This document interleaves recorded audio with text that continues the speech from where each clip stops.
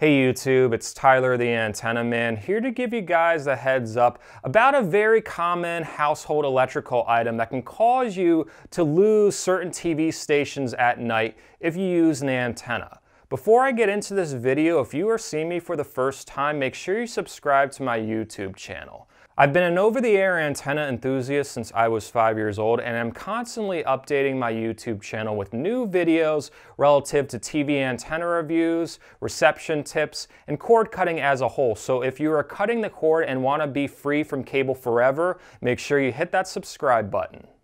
There is a very common household electrical item many of you own that may cause interference and breakup on a TV station if you use an antenna, specifically if the TV station is on the VHF band. What is this household electrical item I'm talking about? Maybe I shouldn't tell you right away. Maybe I should be like all those other YouTubers out there and just keep talking my butt off for five minutes before I tell you and get to the point. Hey, did I mention that this antenna is junk? Don't buy this antenna. This antenna is junk too. You shouldn't buy it. And if you bought it and have reception issues, this is a problem. Maybe I should get to the point now. I'm sure you just heard that junk antenna crash on the floor. What is this common household electrical item that can cause interference on TV stations, usually at night? The common household item is an LED light bulb.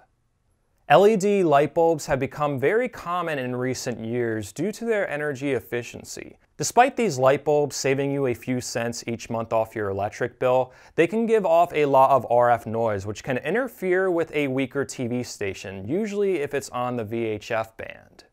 I've seen this situation come up in dozens of emails of mine where a person has no problem receiving a TV station during the day, but towards the evening they start to see breakup and it's no longer watchable. A lot of times it's traced back to an LED light bulb, sometimes in the living room and sometimes on a floodlight outside. One way you can find out if your reception issues are related to interference from LED light bulbs is simply to turn off all the LED light bulbs in your house once you start to get signal issues during a certain time in the evening. If you notice the signal issues clear up when you turn off all lights, the solution is simply to replace some of the LED light bulbs with a regular incandescent light bulb. Now, if you continue to lose certain TV stations during the evening or maybe during the day for some of you, chances are that you are just barely getting the signal to the point that anytime there is atmospheric changes or a tiny bit of electrical interference from God knows where, you lose a station. It's usually caused by a non-optimal antenna setup, such as something that looks like this. This is another common antenna that many people have that I discovered does not work the best and is known to fail. So if you have reception issues using one of these antennas, the problem is you're using a junk antenna. I don't know how many times I have to say it. Do not buy these antennas. Do not buy these antennas. I'll say in a different language. No compres estas antennas. They're junk.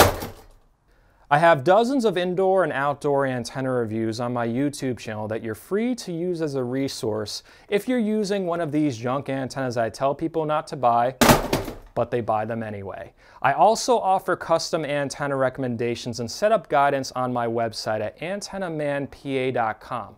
A lot of times people may have a decent antenna setup, but they're doing dozens of things that can totally screw up their reception. I go through your unique reception situation, take a look at your current antenna, how you're wiring it, and let you know how to get the best reception possible. I've been very successful with these custom antenna recommendations, and as I said, you're free to use my YouTube channel channel as a resource, but if you would like my direct assistance, sign up for a custom antenna recommendation on my website.